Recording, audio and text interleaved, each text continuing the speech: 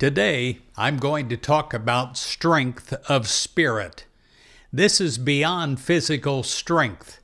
It comes from God, it goes through you, and you feel it and you have it, and it's something that is not depleted at the end of the day.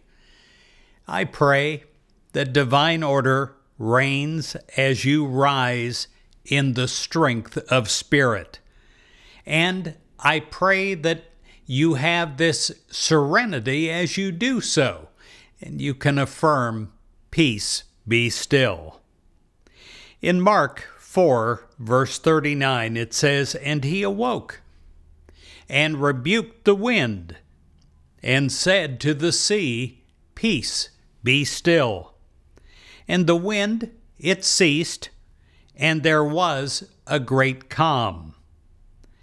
God will give you strength of spirit so that you can rise above seeming troubles. Charged with spiritual strength, you can affirm, Peace be still, and you do it with power, and you begin to feel calm and at ease. Divine order prevails in your life, and all is well.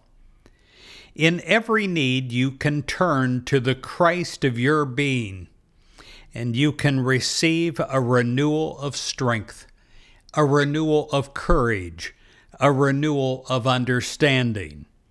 Renewed in spirit, you can recognize that divine order is present and active in your life. When you speak words of peace and feel calm and serene, you know that God is working through you and around you, and nothing can disturb that calm peace of your soul. You have a strength of spirit. God alone governs you, your life, and all that concerns you. And knowing this truth, you rise in strength of spirit. You feel the peace of God and the order of God's presence.